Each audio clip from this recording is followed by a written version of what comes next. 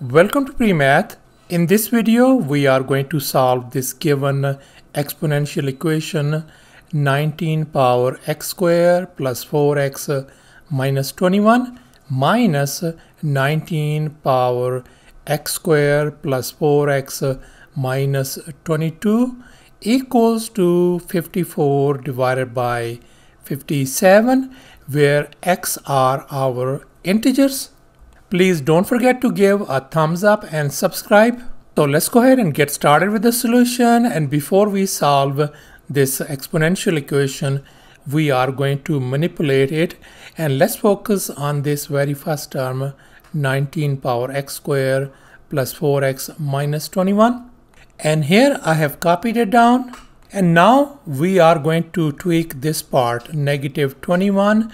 We can write this negative 21 as negative 22 plus 1. So therefore this could be written as 19 power x square plus 4x minus 22 plus 1 and here this part I'm going to group it in a parenthesis. And now let's recall this product rule of exponents. So therefore this could be written as 19 power x square plus 4x minus 22 times 19 power 1. 19 power 1 is same as 19 and now I am going to replace this whole first term by this uh, simplified form.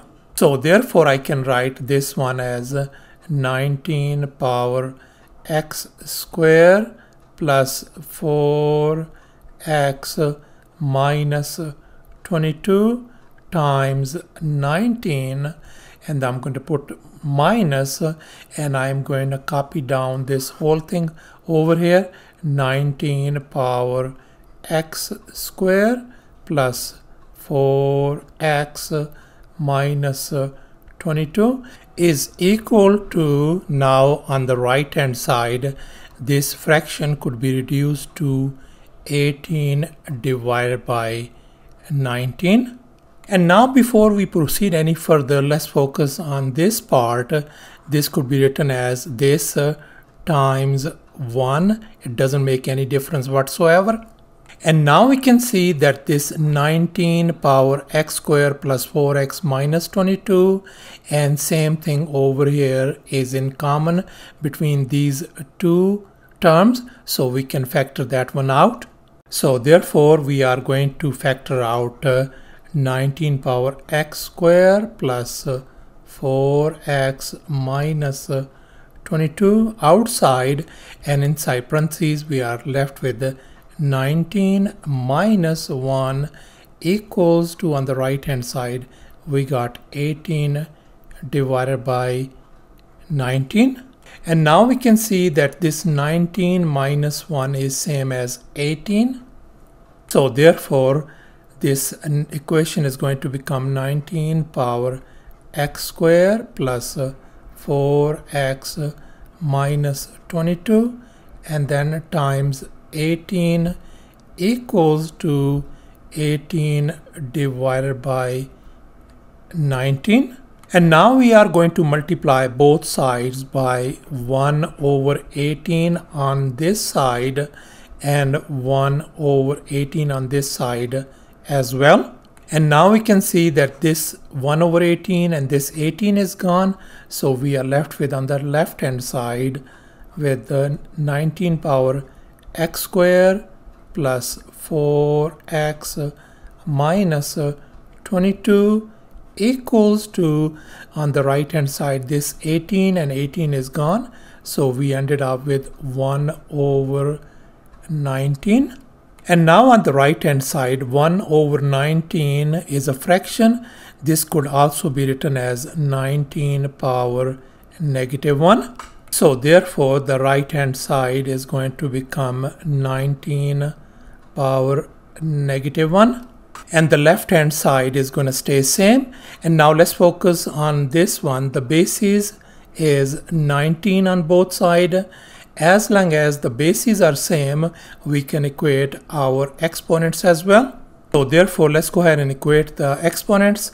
x square plus uh, 4x minus uh, 22 equals to negative 1 on the right hand side. And now let's add 1 on both side. This on the right hand side, negative 1 and positive 1 is gone. So we are going to get x square plus uh, 4x uh, minus 21 turns out to be equal to 0.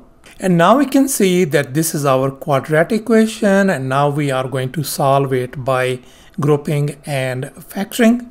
And now let's focus on this part. 4x we can tweak it. We can write uh, 7x minus uh, 3x so therefore we can write this one x square plus 7x minus 3x minus 21 equals to 0 and now we can see between first two terms we can see x is in common.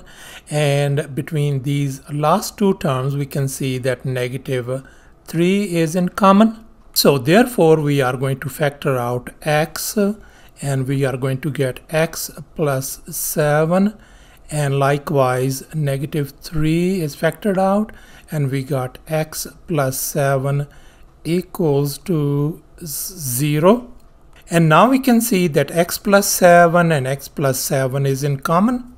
So therefore we can factor it out and this could be written as x minus 3 times x plus 7 equals to 0.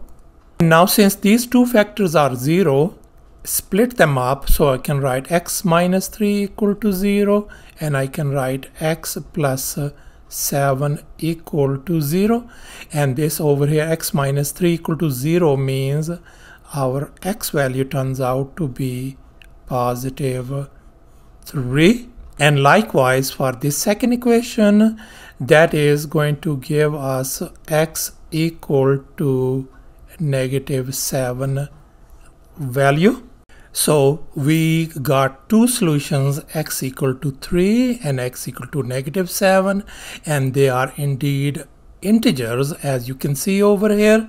So after all these multiple steps and manipulation our solutions turn out to be x equal to 3 and x equal to negative 7 and that is our final answer. Thanks for watching and please don't forget to subscribe to my channel for more exciting videos. Bye.